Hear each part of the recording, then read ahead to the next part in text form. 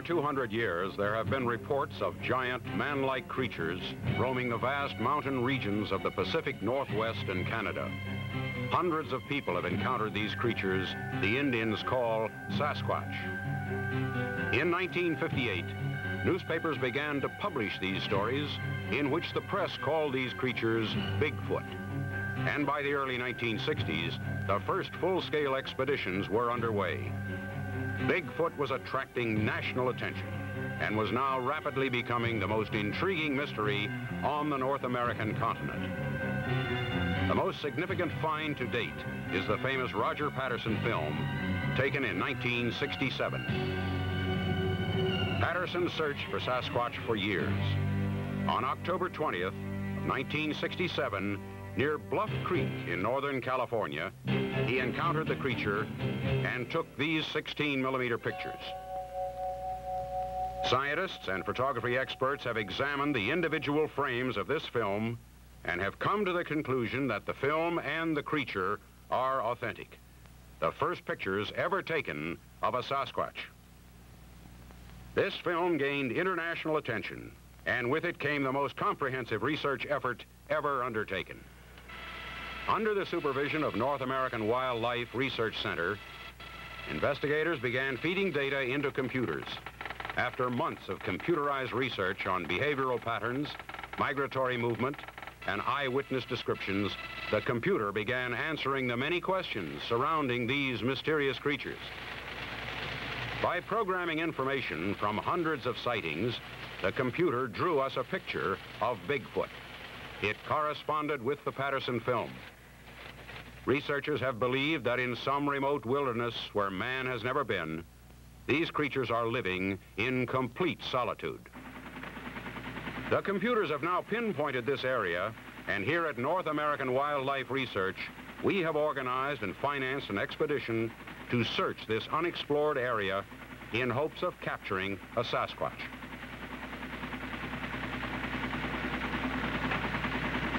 The final destination of this expedition is north of the river the Indians call the Pecatoux, in a primitive part of northern British Columbia. We are taking the latest and most sophisticated equipment. Tranquilizer guns, electronic gear, and sniper scopes.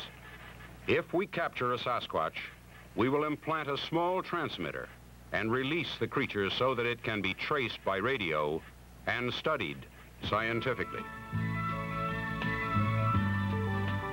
Deep in the heart of the vast wilderness of the Pacific Northwest and Canada, a legend extends back into the spoken history of the earliest Indian tribes.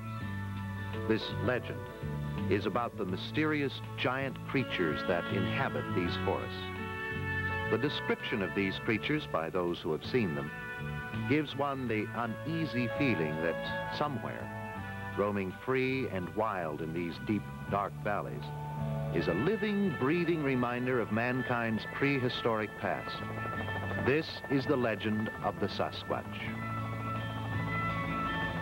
Today, this legend continues to be told in the Northwest by many responsible people who have reported sightings and encounters with Bigfoot. Because man has never been able to capture a Sasquatch, this creature has become the world's most intriguing mystery.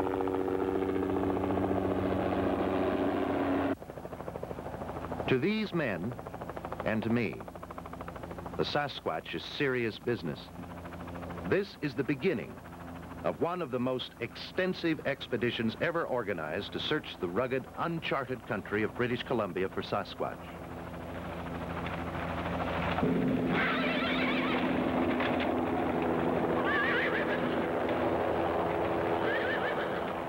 It is the hope of all of us on this expedition to prove once and for all that the Sasquatch legend is true.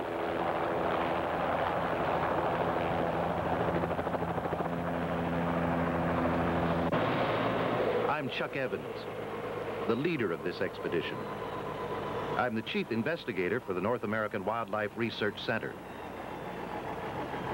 The man I'm talking to is one of the most distinguished anthropologists in the world and my good friend, Dr. Paul Markham. He has done extensive research into the Bigfoot phenomena and he's now one of the leading authorities on Sasquatch. He has helped plan and outfit this expedition, and he's organized this base camp. Coffee? We are now in the last phases of our preparations and hope to shove off sometime this morning. Hey! When did you get in? Uh, we got in yesterday. Had quite a trip over those mountains. Hank Parshall is an Idaho rancher and one of the country's leading experts on tracking dogs. Because of his keen interest in Sasquatch, he has volunteered his horses, dogs, and time for this expedition. Hank first heard of Sasquatch when he was a small boy. And throughout his life, he's talked to many people who claim to have seen one. One of the most colorful characters of this expedition is Joshua Aloysius Bigsby. Josh has been a fixture around the Northwest since the turn of the century. He claims to be at least 80 years old, but no one knows for sure. Not even Josh himself. He's probably the last of the mountain men. He knows every trail in these mountains. And so does his faithful mule, Zeb. Josh is important to this expedition because he is the only one who knows the way to the Pecatow River. From there, Tekka Blackhawk will guide us. Mr. Evans, thank you. Your knowledge of the land beyond the Pecatow River is crucial. It's a relief to have you here. Well, it's a pleasure to be on this trip.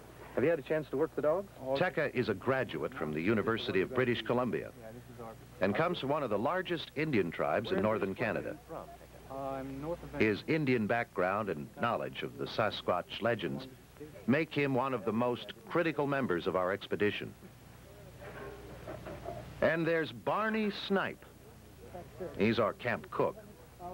He's a crack shot with a rifle and an excellent woodsman.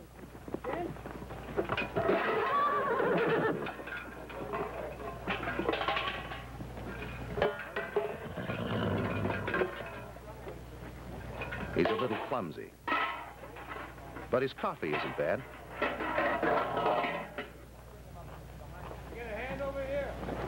I'm Chuck Evans. Bob Vernon, National News Service. Has Dr. Markham gotten you squared away? Yes, and that horse Hank Parshall introduced me to kicked me in the knee two seconds after I met him. I'm glad it wasn't more serious. They tell me that you um, don't see the point of this expedition. That's right. I don't believe in Bigfoot. I'm here because I'm good at my job and the pay's good enough to make it all seem practical, if not desirable. I'd much rather be back on the streets in New York City where the enemy is visible and real instead of chasing some mythological boogeyman in the woods. Can we see you over at Central, Chuck? Be right there, Paul. Bob Vernon is a reporter for a major news service assigned to do a story on our expedition. Although he's a thorough skeptic, he is an honest writer. But his negative attitude disturbs me.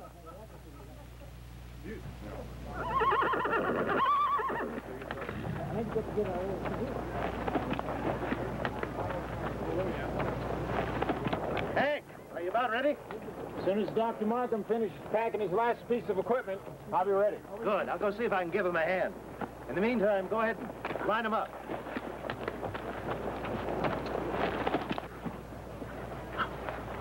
Paul, can I give you a hand? No, thanks, Chuck. I've just about got it. Well, Hank is ready when you are. Okay, I'll be ready in a moment. Vernon, you about ready? Yeah, I'm ready. This wilderness we're going to can't possibly be as primitive as all these elaborate preparations make it seem. Well, just hang in there. You may be in for a few surprises.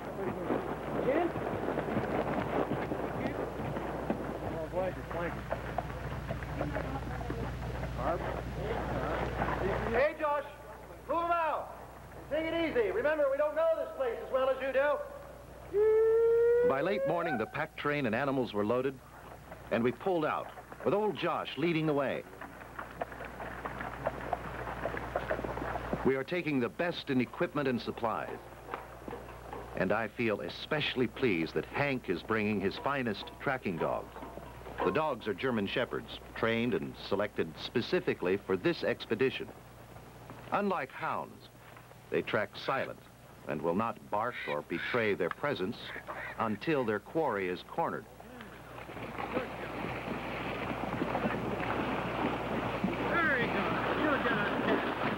We were happy to be on our way. But as the chopper buzzed us a last goodbye, we realized that we were leaving our families and civilization behind. It will be weeks before we are resupplied by parachute.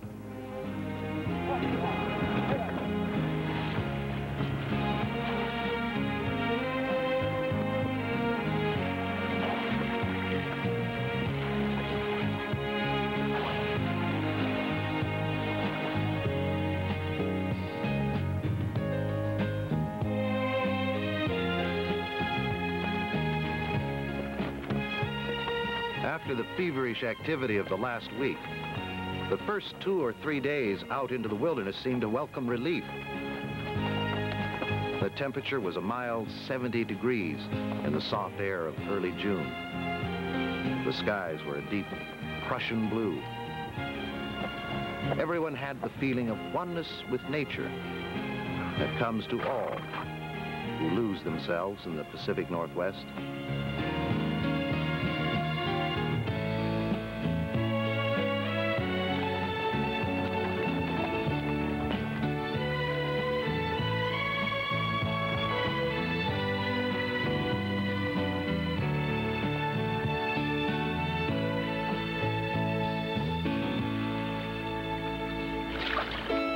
Was early summer in the high country, the best time of the year.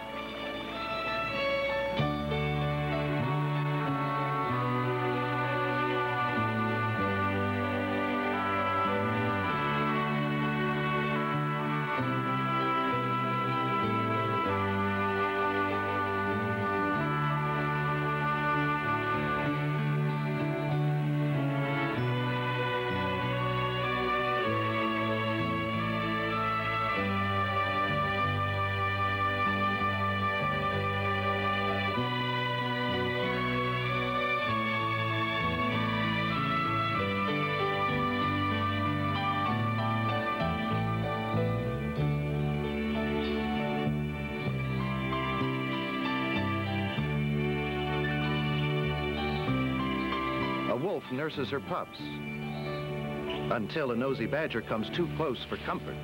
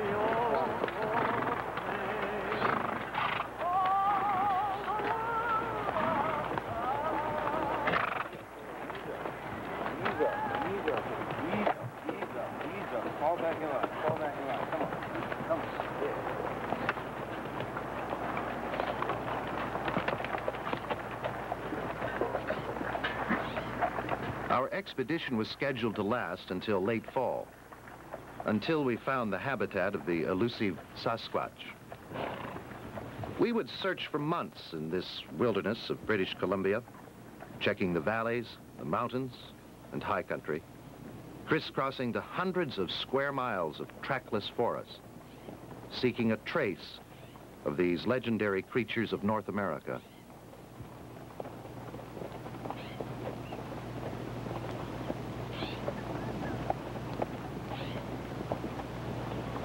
We rode through this beautiful land of mountains and valleys for the first weeks, camping each night by some mountain stream.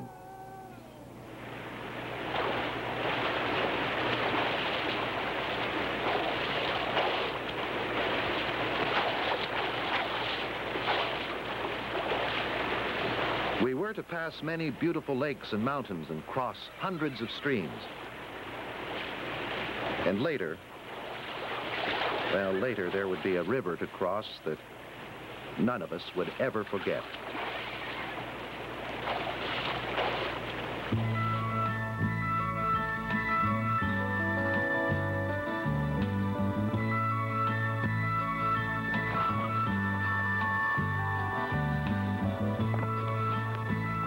By unspoken consent, the journey was quiet as we traveled through the forest. We did not want to advertise our presence. And it was quite an experience to watch the wildlife on every side as we plunged deeper and deeper into this primitive country.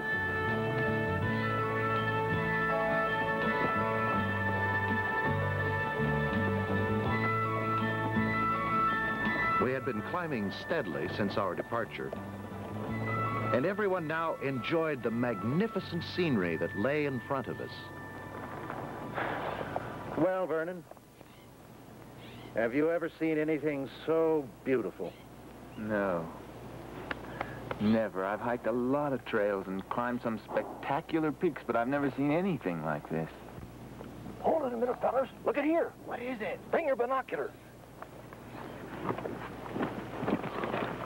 It's Smokey the Bear. Oh, it's a grizzly. It's the most ornery animal there is. We have to put somebody up ahead because it might double back on us. I thought cougars were more dangerous than bears. No, a grizzly is the most dangerous and unpredictable animal there is. A cougar will never attack a man unless he's so darn old he can't catch anything else. That bear doesn't look all that dangerous to me. Don't count on the way he looks from way up here. You know, a couple of old miner friends of mine were killed right now here by a grizzly. Well, Bob, are you getting pictures that you like? Yes, Okay, beautiful you guys. the this. Cheese and salami on the last of the store-bought bread. oh, I don't know. That fricassee mountain rat we had last night wasn't bad. Whoa, get mountain rat. well, I've had worse. I remember back oh, in 05 when we was caught in the back country, not to eat except gopher. You ever had gopher, fellers? well, it ain't the best in the world. And again, it ain't the worst either. And Josh ought to know. Josh, how far do you figure it is to the Pecatow? Well, at the rate we're going, I figure it'd take about three weeks, maybe four, unless we run across one of them critters. Hmm. How many sightings have there been in the area to the east of us, Paul? I've got four in 1966, nine in 1972. And to the north of us, there have been more than 20. How can you be sure there are Sasquatch in the area where we're going? Our computer readout shows there have been numerous sightings in the area north of the Pecatow. That particular area of BC has been taboo for my tribe and others for as long as Indian history goes back. The early white explorers couldn't get anyone to guide them in. Take a look at this map. This area, it's all dense forest. Running east and west is the Pecatow River. All around the perimeter, we show various sightings of Sasquatch. How large would you estimate that population to be? Well, there's really no way to tell. We don't have enough information on how the Sasquatch lives. Josh, show us where we're headed. You see that third range of mountains over there? Yeah. Well, just behind that is the Pecatow. And just beyond that is the land the Indians call Haya country, or Forbidden Land. You can't see those mountains from here, but they're there. And so's the critter.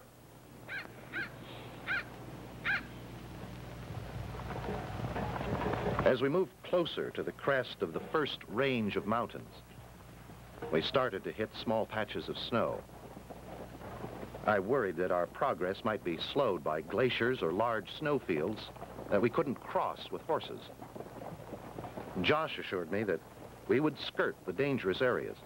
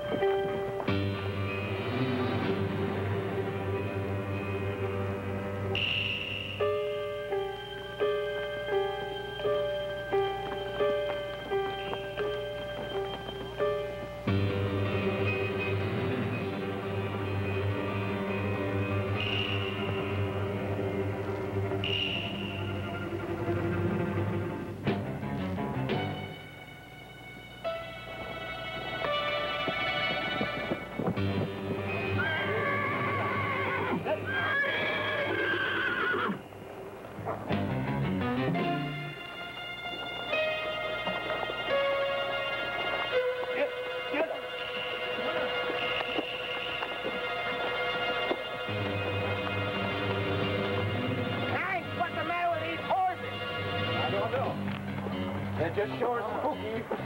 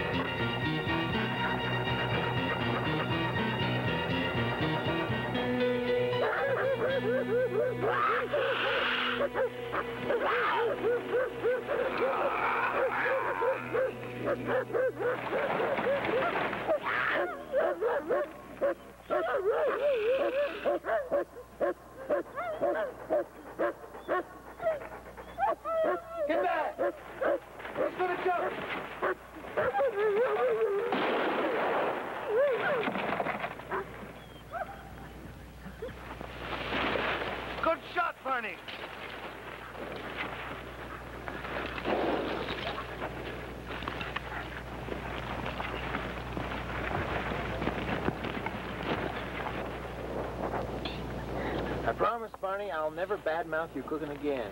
Hey, Barney, where'd you ever learn how to shoot like that? That's an inheritance from my old grandpap. He's a darn good shot, Barney. It's too bad we had to kill him. He was a fine-looking animal. But with the taste of pack horse in his mouth, he'd have followed us. And he'd have got one of them eventually. What's the damage, Hank? Well, the horse is all right. Cat didn't cut him too bad. It's a good thing. We needed that pack horse. Well, we'll rest here for an hour. But we've got to be leaving. We've got to be to the next valley by tonight.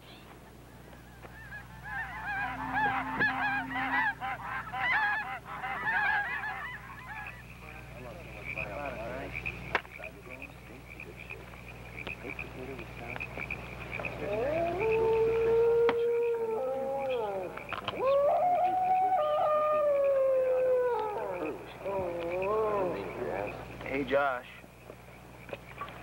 You ever see a Sasquatch? No, not exactly. What do you mean, not exactly? Well, I've seen a heap of tracks. Some big ones, some little ones. I remember back in 1912 when we was traveling up the Columbia River way with a bunch of fellers doing a bit of hunting. We stopped to camp for the night. Well, during the night, something snuck into our camp and tore it all to shreds. Maybe it was a bear. Weren't no bear. How do you know you didn't actually see it? Well, I seen the tracks the next morning. They's about 18 inches long. No bar has feet that big. But how many people have you talked to who've actually seen a Bigfoot? A couple dozen, maybe. Do you believe in that Mount St. Helens story? I sure do. I knowed old Fred Beck who told me about it. The way old Beck told it to me, he and three other fellers was working a mine back in 1924 called the Vanderwijk Mine. They'd been prospecting and panning a little gold up in the Lewis River country. This is near Mount St. Helens for going on six years. They's doing pretty well, too. They'd seen a lot of tracks around during the years, and they always just figured them to be tracks of a big engine that's still roaming the hills. On this ticketer day, one of them come back from town with a new assay. It was a dandy. They discovered a pretty good strike of gold, all things considered. They're all kind of excited. They decide to knock off for the day and celebrate their good fortune. They headed back for the cabin as usual, along an old, well-used trail.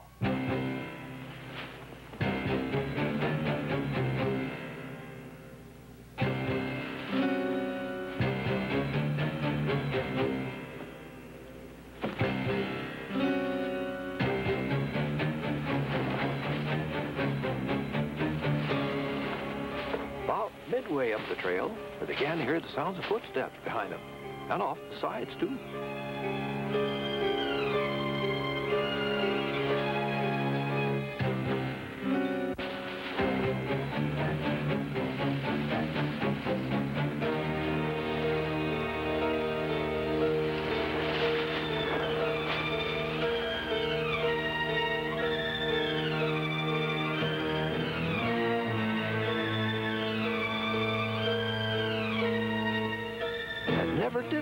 Was in the trees, but something was sure following them.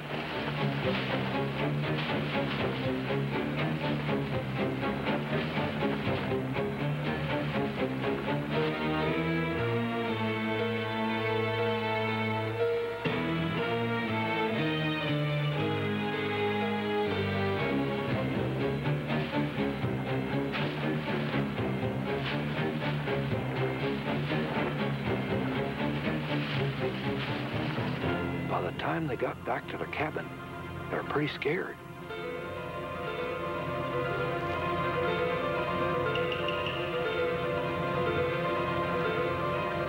Charlie was more scared than the others. And the sounds of those footsteps, it seemed to him like there was more than one of them things out there, whatever it was.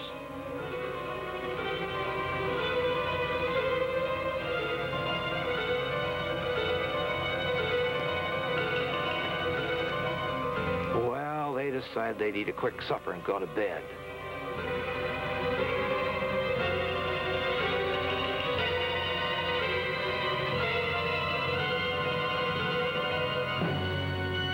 They had heard nothing more from the trees, and they figured that whatever there was out there had gone away.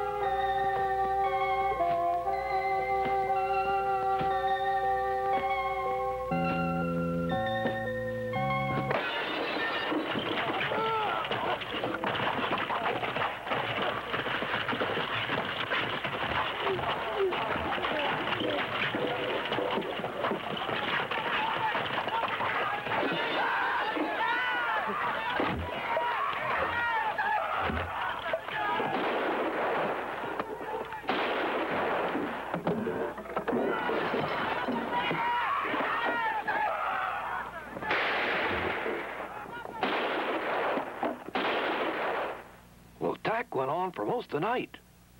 Sometimes it was still, and other times it increased.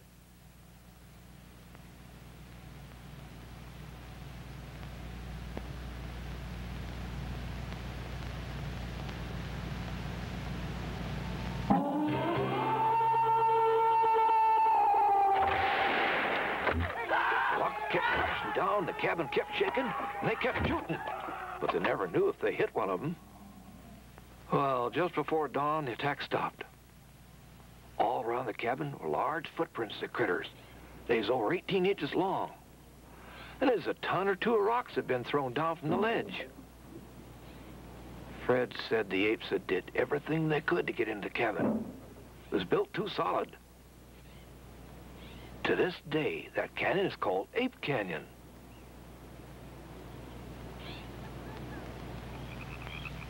Fred always did say they was apes, but the way he described them is a lot bigger than apes.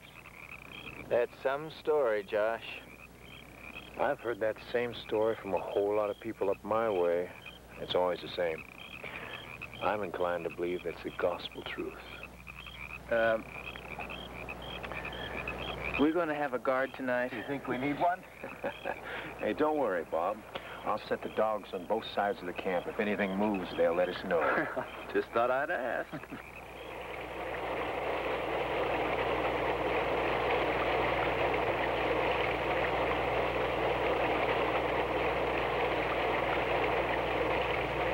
Each day on the trail brought a new experience.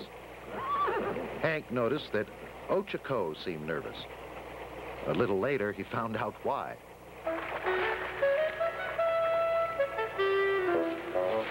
And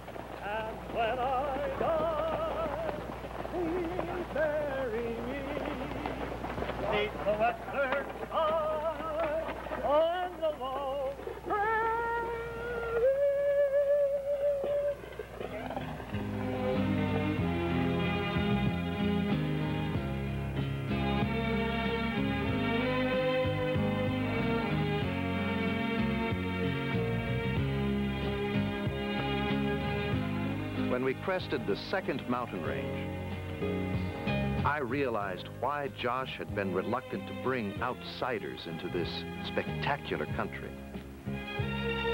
It was obvious that this was a wilderness seen by few men and untouched by any of them. It gave us the feeling that we were visitors in a special land that belonged only to the animals. And I hoped it would be theirs forever. In the past weeks, we had crossed many ridges and valleys and spent much of our time on small detours along creek beds where the soft earth would reveal tracks. But we hadn't found a single track of the evasive Sasquatch. Now we were over 200 miles into the interior. Looking back over the country we came through, it seemed impossible that we had made such good time.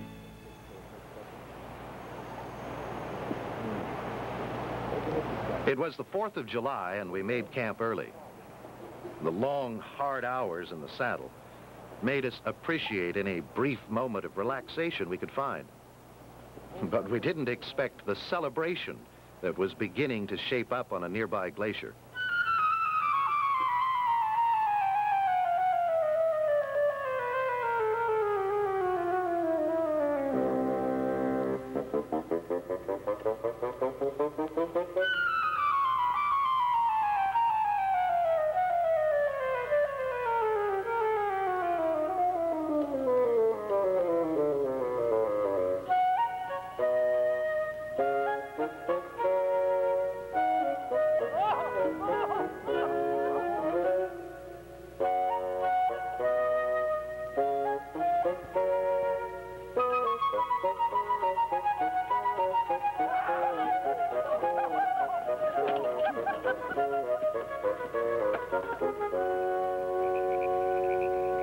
Now crossed the last of the big mountains. From here on, it would be a long downhill ride into the canyons of the Pecatow. Josh estimated about a week to reach the river. But it had been many years since he had traveled this country, and I had the feeling that, well, that he was not certain about what might lie between us and the river.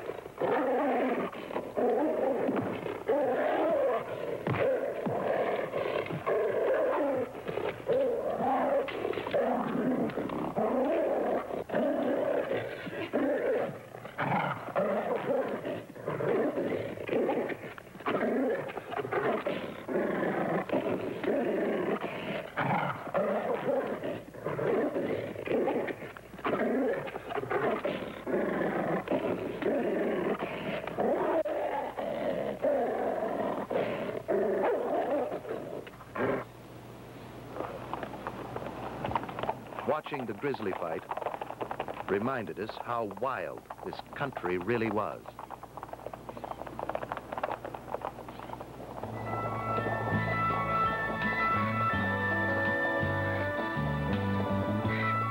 We followed the game trails whenever we could. Some days we made good speed. Other days we were slowed by heavy timber.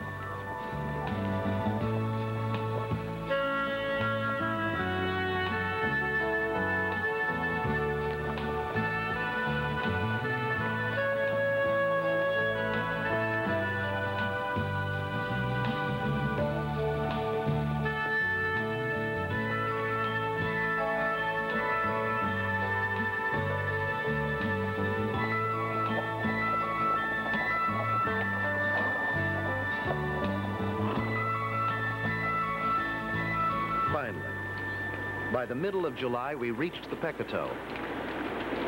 And across from the raging stream was Sasquatch country. There she is! I got more than four white men ever seen it before. Pretty, ain't it? Ever seen it before, Tigger? Before I was a young man. It was a lot further downstream. This is Haya country. Many evil spirits dwell here. Can you guide us through that wilderness? I know the way. All my life I've known the way. It's been told around the campfires of my people for more generations than I remember. All know the way, but none go. Once we cross this river, we move with caution. We better make camp back up in that meadow. Hank, will you look for a better crossing downstream? Ticka,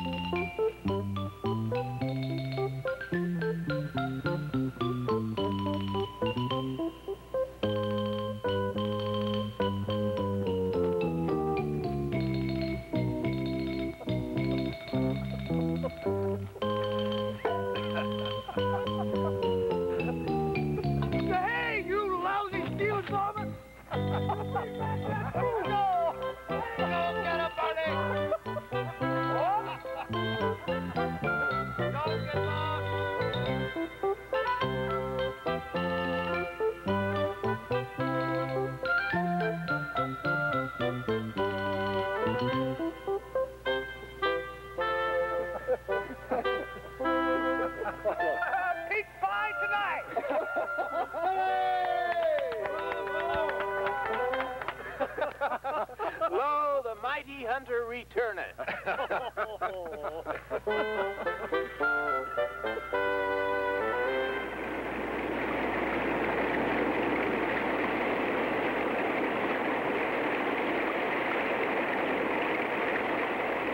We searched the river for a better crossing site.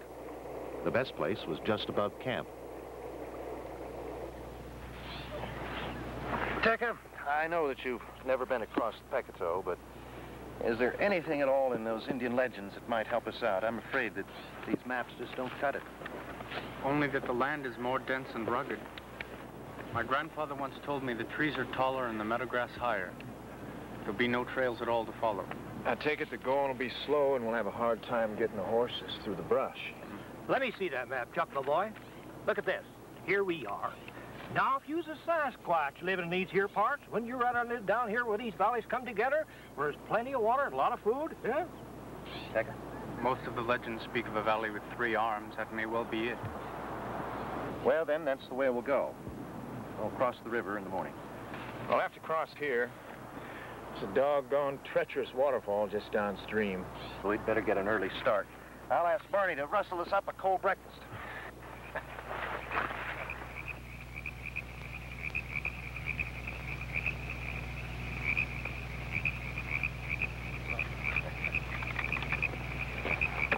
I had Tech chain up the dogs tonight. They're a little restless.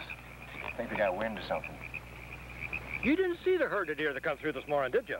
Well, I was awake at dawn. About eight or ten deer comes through, about 20 feet away. Come on, Josh. The dogs would have picked up the smell on them deer. Nope. Them deer was too smart. They come downwind of the dogs and made nary a sound passing by. You fellers remind me of the story Hank was telling me about old Bauman back in 1850.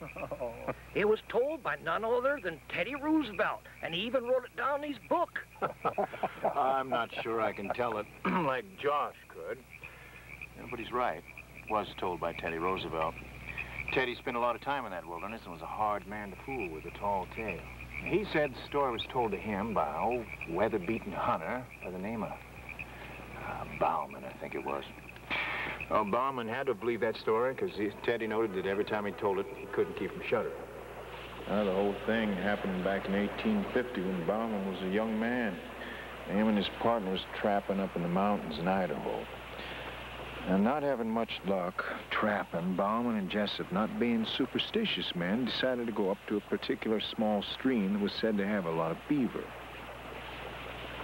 Now, but to get to that stream, they had to travel by way of a pass that, well, it had an evil reputation ever since a year before when a hunter wandered into it and was killed by some wild beast.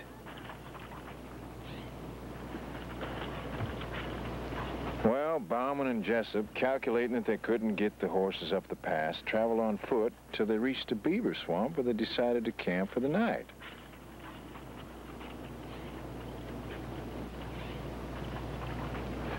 There's still a few hours of daylight, so they built a small lean-to and went on up the creek with the traps.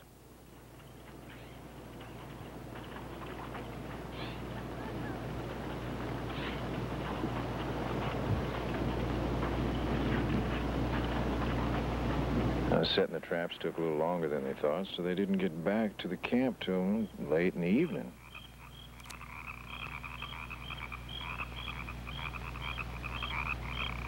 When they came into the camp, the whole place was just torn up.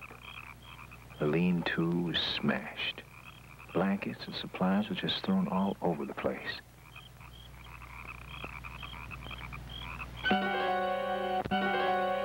And all around the camp, there was footprints just as plain as if they'd been made in snow. And they examined the tracks real close and concluded that whatever it was certainly walked on two legs. It was getting too dark to tell much. The two men went on to bed with the intentions of studying the tracks in the morning. About midnight, Bauman was awakened by some kind of noise.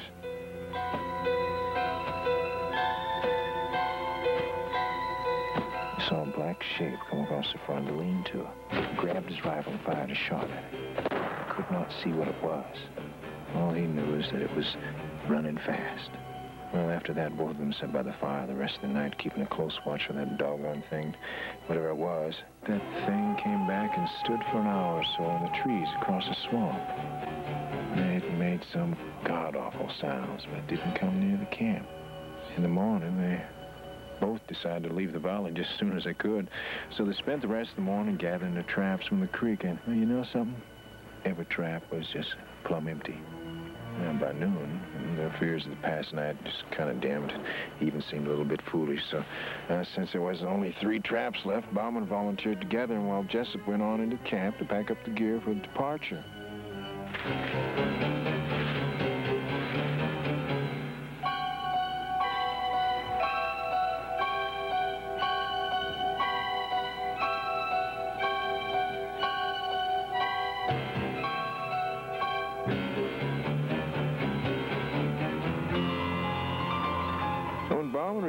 Camp, everything was quiet. He hollered for Jessup. There was no answer. Then, Bauman caught sight of his friend. He was dead. His neck broke, just like it'd been nothing but a twig.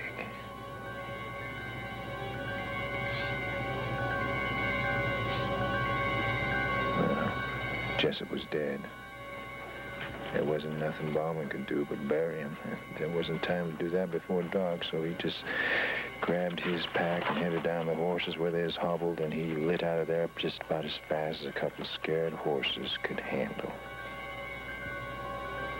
Bauman said as far as he knew, them traps was still up there on the old Salmon River, along with Jessup's bones. Hank, you think that story is true? I guarantee doggone to you, a man like Teddy Roosevelt wouldn't have said nothing that didn't believe him. There are lots of stories on record like that. Well, I hate to break this up, but I'm going to have to radio home base for some supply. Uh, great. I got a list for you. And don't let them forget the Tabasco sauce. Anyone have anything else they need before I call? No. Come out of there, you varmint. That's Ticker's outfit. Come on. Out of there. You guys don't know your own place. Who do you think you are? Come on. Come on. Get out of there. You varmint, you. We suggest you approach from the east out of the sun. The wind is at five knots.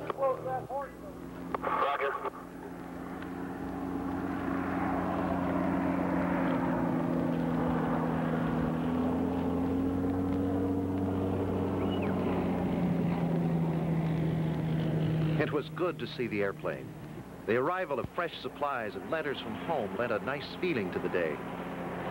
It was comforting to know that we had a direct link with civilization. And there it is, mail from home. We were now almost 300 miles into the interior. Just an hour and a half flight for the plane, but a good month's trek by horseback. Oh, my Tabasco sauce! Later that morning, we attempted the river crossing. It was just as tough as we had thought. The rapid flow of the water and the depth of the stream made it extremely hazardous. Hank started across with the pack horses.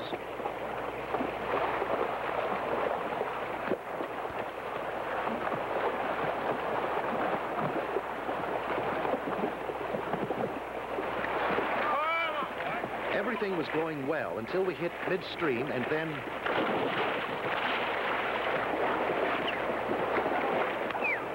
The river was sweeping horses and riders downstream.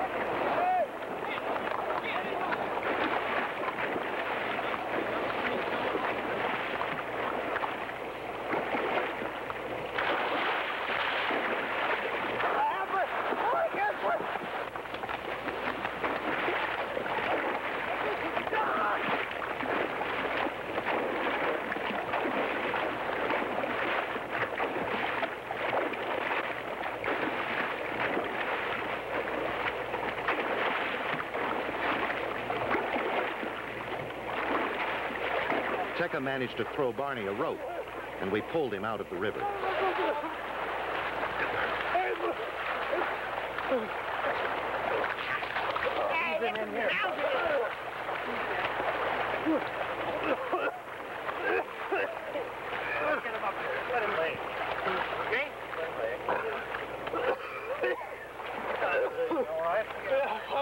How much, how much water Barney? Did you get my hat?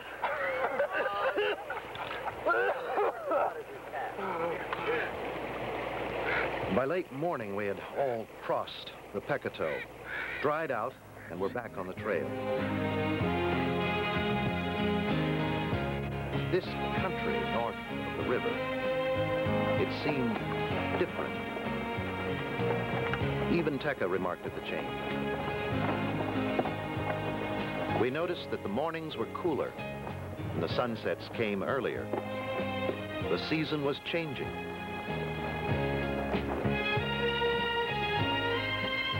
This country held a unique fascination for all of us. It was obviously virgin wilderness.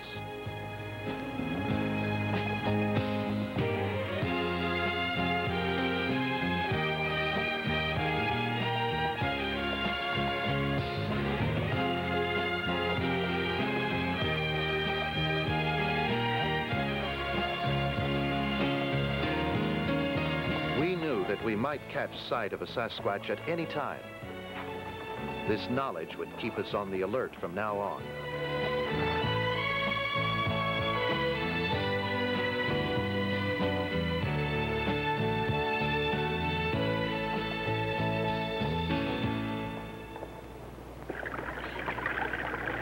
There was an abundance of game everywhere, more than I had ever seen before, and none of the animals seemed afraid of us.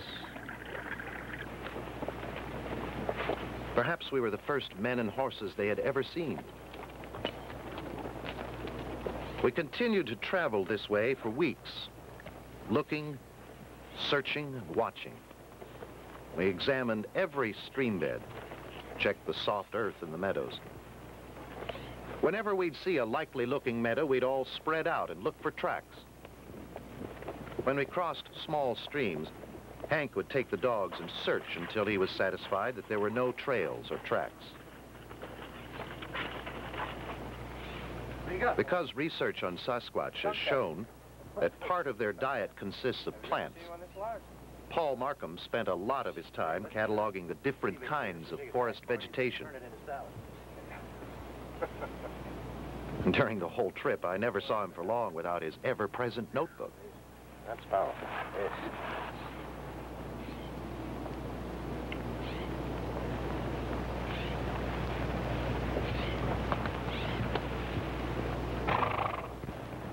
The going was slow and tough, through heavy timber, many times with no trail at all. We began to wonder what had happened to the valleys we had spotted on the maps weeks earlier at the Pecatow River. Some days we were hindered by brush so thick that Tekka had to cut a trail before the horses could move through.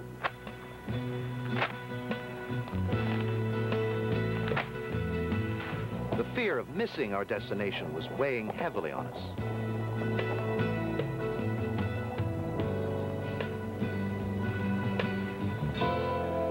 Even some of the meadows were treacherous.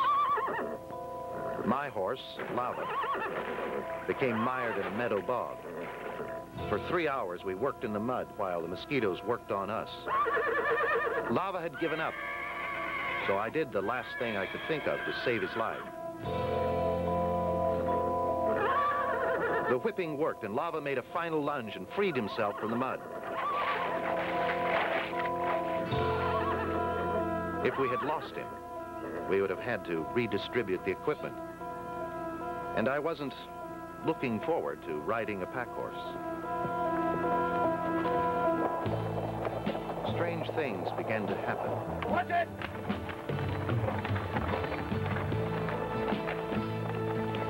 It was as if someone or something was trying to stop our progress.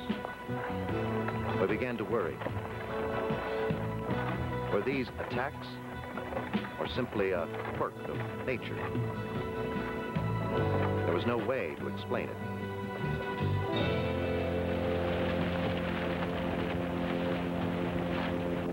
We were all feeling the strain of the long trip.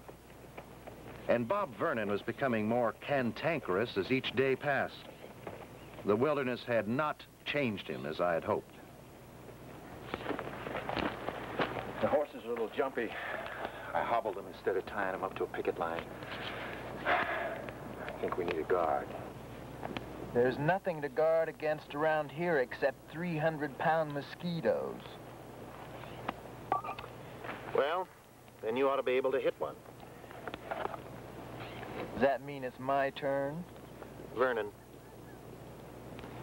that attitude of yours is going to get somebody killed.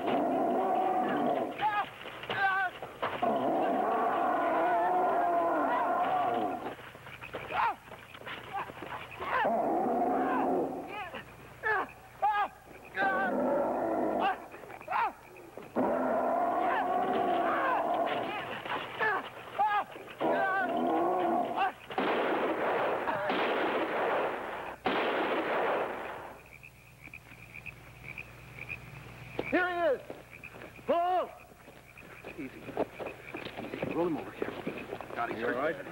He's bleeding. Um, Barney, get the first aid kit. Right. Hank, Tekka, make sure that grizzly's out of here. Bob, I'm going to move your arm. Tell me if it hurts, all right? Yeah. Set you up for Bob. Careful. Let's get it off this side. What's this arm here? Oh. Easy. Easy with that. Josh, you got the gauze? Yeah, right here. Well, that ain't too bad. That old grizzly bar didn't hurt you too much. You'll have to take it easy for a spell now. Whoop, careful. It's going to be a little sore. I think you'll live. Ah, good. The experience with the grizzly was pretty scary to all of us. And as Josh had warned us weeks earlier, the grizzly is the most dangerous of all big game. Vernon didn't talk much about it. His carelessness had just about cost him his life. And now he would have respect for the wilderness. On the morning of the 10th of September, we broke camp and rode as usual.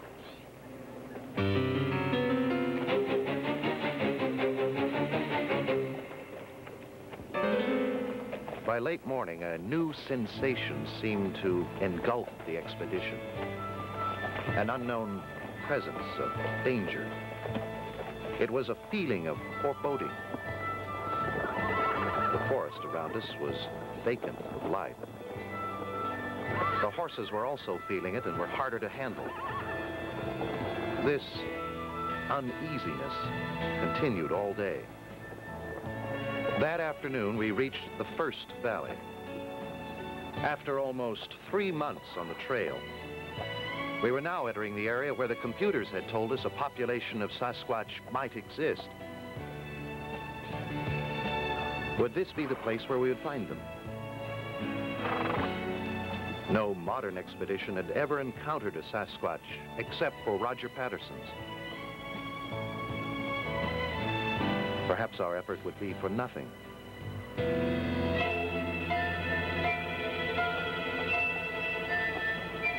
We decided to camp at the edge of the meadow, near the head of the valley.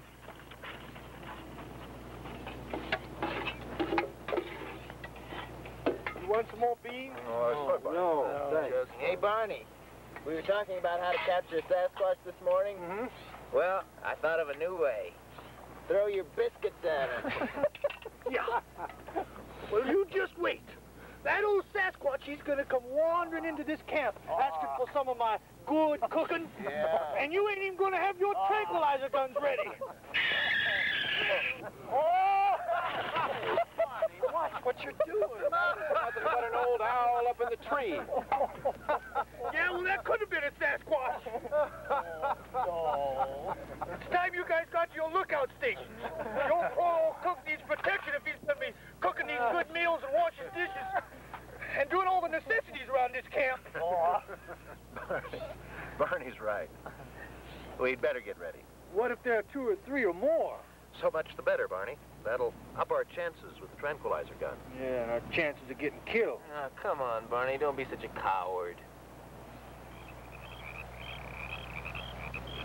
Being as big as he is, Sasquatch could break the back of a man with one blow.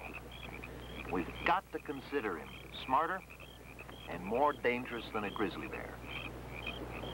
And I don't need to tell you about grizzlies. So don't take any chances. If he comes, he'll come from the thickest part of the forest. Sightings show he has a tendency to stay under cover. That'd be over by post four where Hank is. That's right. You think he'll come alone? Perhaps. All right. You better move out.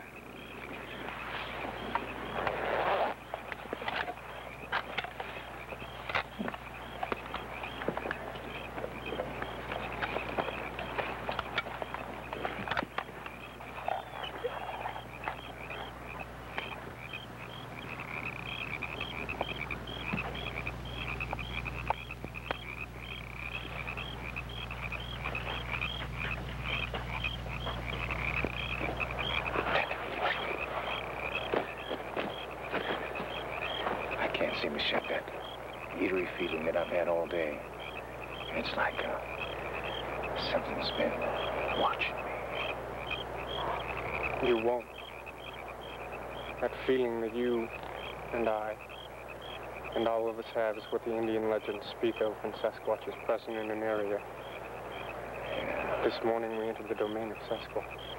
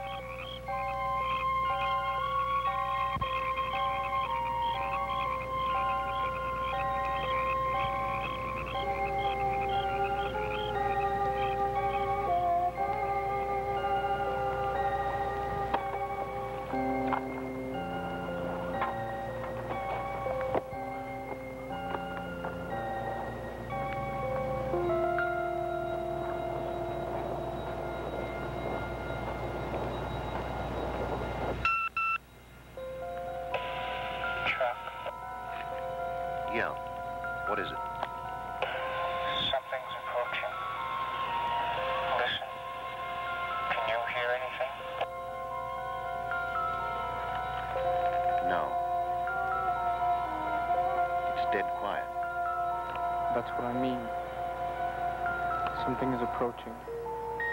Or it's already here.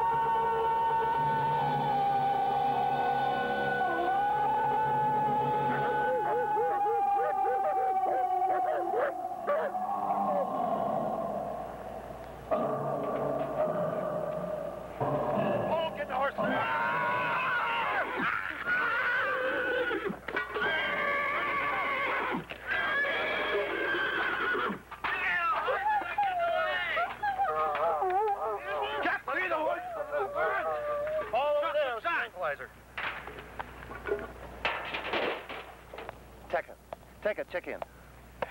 I checked the forest with a sniper scope. Couldn't see a thing. The Sasquatch was here all right. I caught his smell on the wind. It's sort of rotten smelling. Okay. Keep the channel open. Hank? Yeah, I'm okay. What the heck was that scream? It had to be a Sasquatch. Nothing else sounds like that.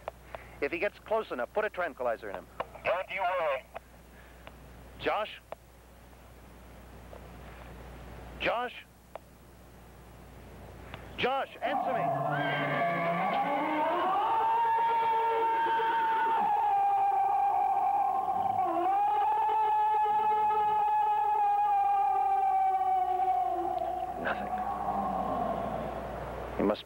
Trees. Where's Josh?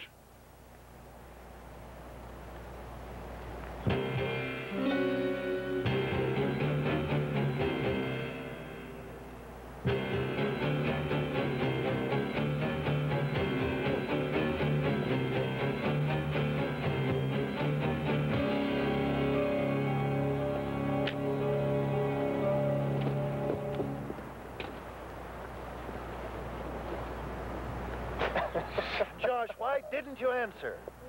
Couldn't. Didn't have this gizmo turned on. No, I thought I smelt the critter. I thought I'd sneak up on him. Couldn't get near him, though. That Sasquatch could have walked right through this camp with all you fellers asleep. You didn't see it? Nah, it was in the trees. He's gone now, though. Gone? Just listen. The forest sounds are coming back. Well, the next time you go traipsing off, let someone know.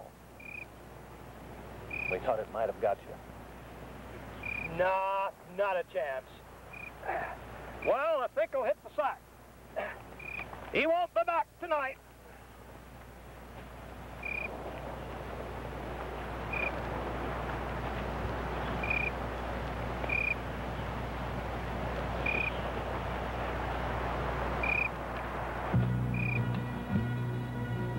Most of us were rather tired and sleepy the next morning. Although Josh had slept like a baby. The rest of us sure hadn't. It had been a disturbing experience. At the first light of day, we began to cover the meadow to check for tracks. Those screams had been so close, we knew we should find some evidence of what had made them.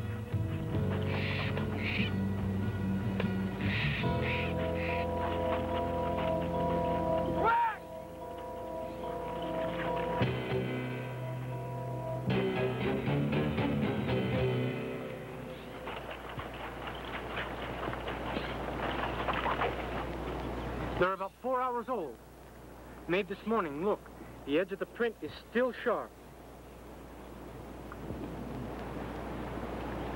After all this time. Here's the other impression. They're about six feet apart. Sixteen and a half. Eight and a half at the ball. An inch and a half deep. Estimate the creature to weigh somewhere between eight and nine hundred pounds. He must have been standing right here looking down on us last night. Here's another one.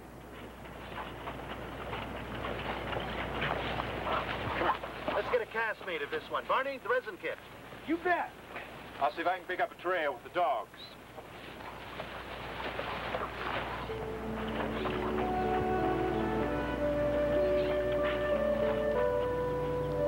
We made one cast of each foot. We were using the new resin materials, which took longer to dry than plaster of Paris, but this substance is practically indestructible.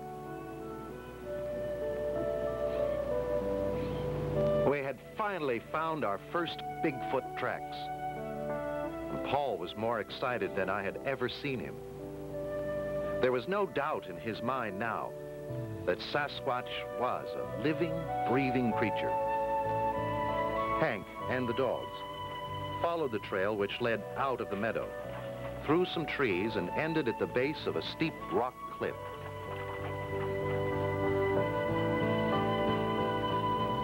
It looked as if the Sasquatch had climbed right up over the top. It would be impossible for us to follow. Only experienced mountain climbers could get to the top and... And of course, the creature had crossed over by now. Vernon? Tekka pointed out that the cliff curved in the same direction we were headed. If the Sasquatch continued in a straight line, we might pick up his trail on the other side. We decided that Hank and Tekka would walk around with the dogs. We would break camp and meet them with the horses.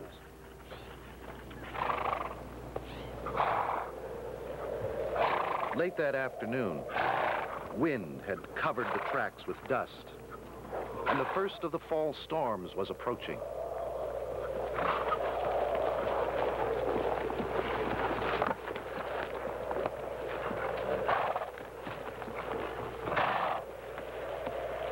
For two days, we traveled in heavy rain and could only hope the rain would not turn to snow.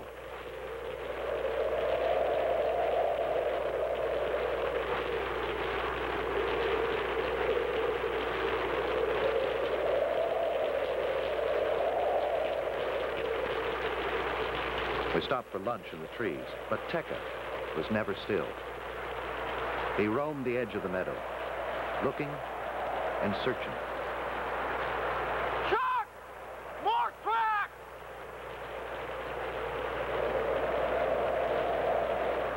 It's the same pattern. See the resemblance in the print? The ball of the foot has this big lump on the side. It's the same creature. How old is the track? Two, maybe three hours old. Made this morning for sure. They're heading the same way we are. The dogs can take it from here once we're ready to go. We were back on the trail, and now there wasn't any question about the direction the creature was headed. If the Indian legends were correct, we were nearing the heart of Sasquatch country. The storm broke, and we were to enjoy a few warm days of Indian summer. We continued our journey with the ever-present feeling of uneasiness. Oh, In the next valley what's that? was the most awesome sight I had ever seen. Recognize that sign, Paul? Yes. That's the way the Sasquatch marks the outer perimeter of his domain. It's incredible. Incredible.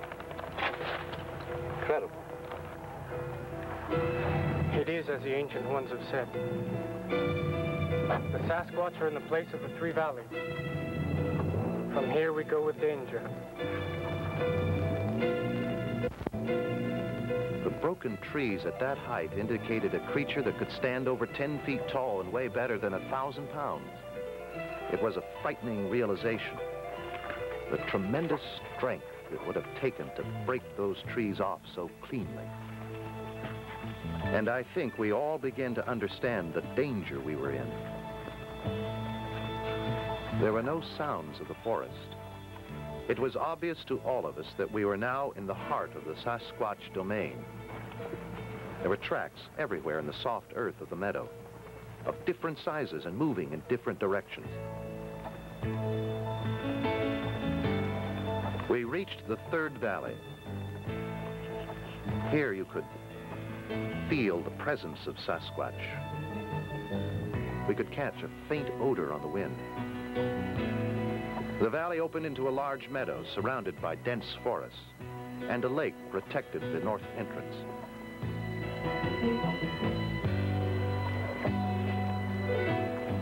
Tekka suggested we camp on a knoll above the meadow near the tree line. It was out of the swampy area, and we would have the lake on one side for protection.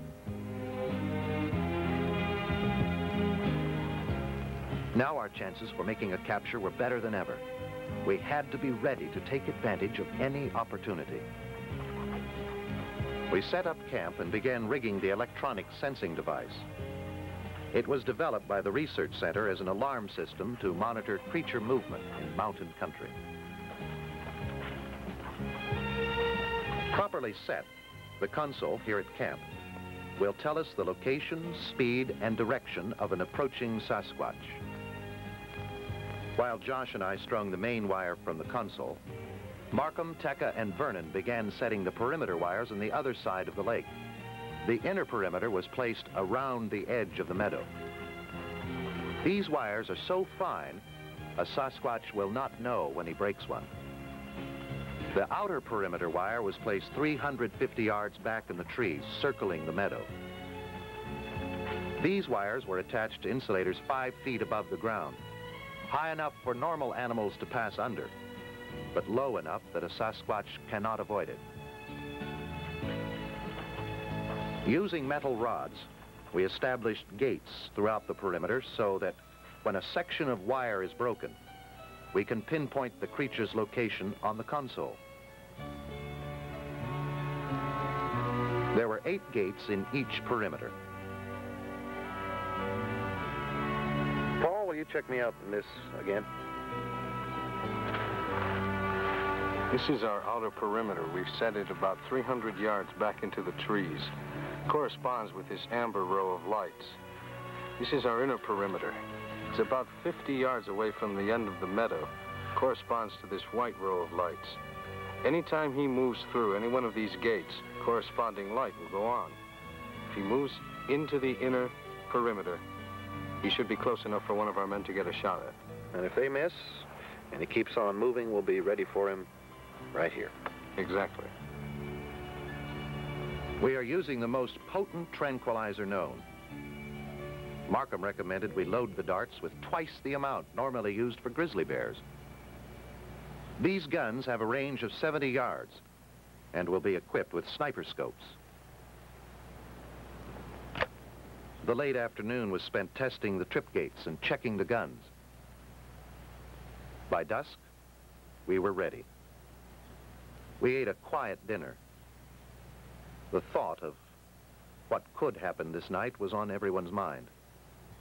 We knew the Sasquatch might come, and with it our opportunity to capture the greatest anthropological find of all time.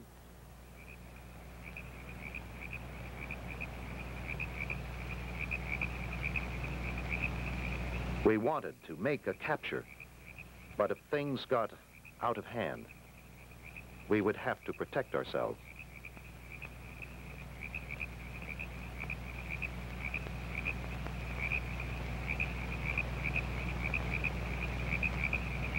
Hank, Tekka, and Vernon volunteered to take positions in the inner perimeter. The rest of us stayed to protect the camp. There it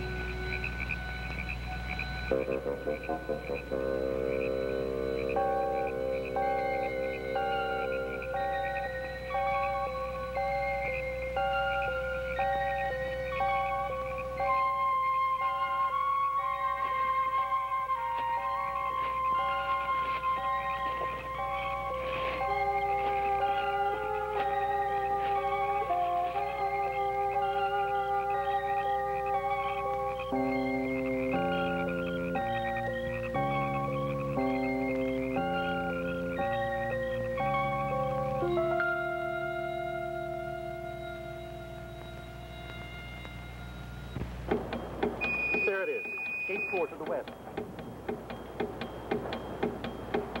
Listen, everyone. He's just broken gate four. Hank, that's in your sector. He should be just beyond the edge of the tree line. Gotcha.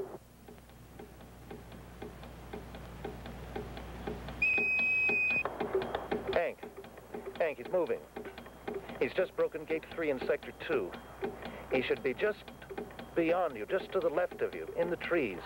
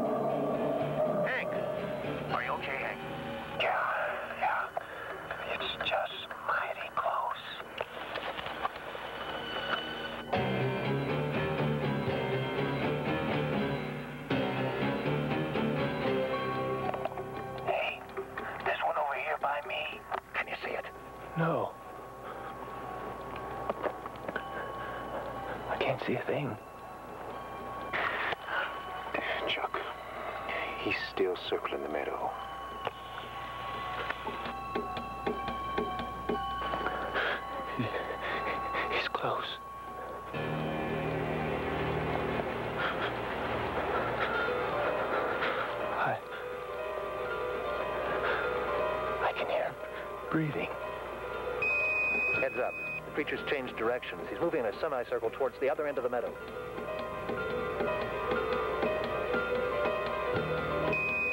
Second, there's another creature on your side. He's just broken gate eight. I can hear him moving. Just inside the line of trees. I can't see him. But I can hear him. The sound is coming from near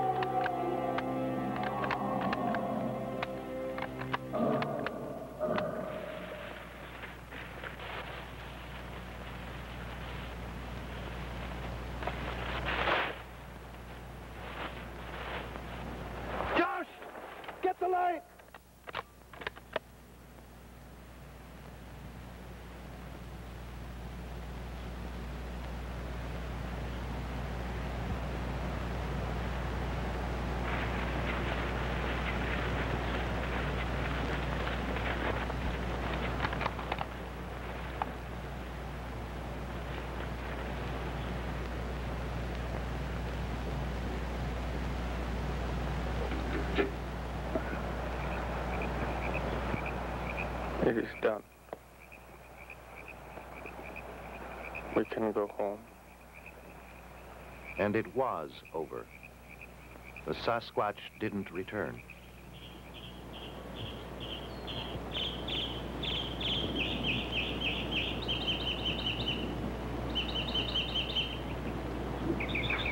Our camp and equipment was smashed and ruined. We had several injuries. Barney had a vicious cut on his head. Markham's knee was shattered. And poor Bob Vernon was in shock.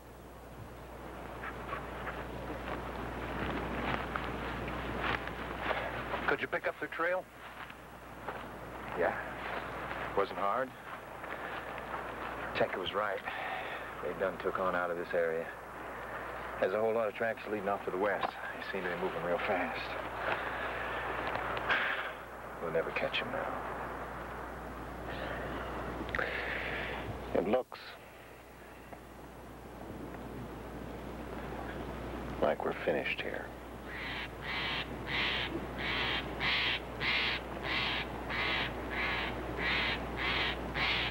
Jug, coffee?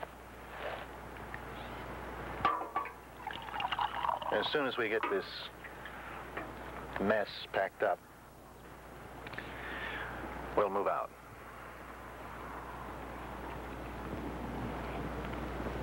Barney?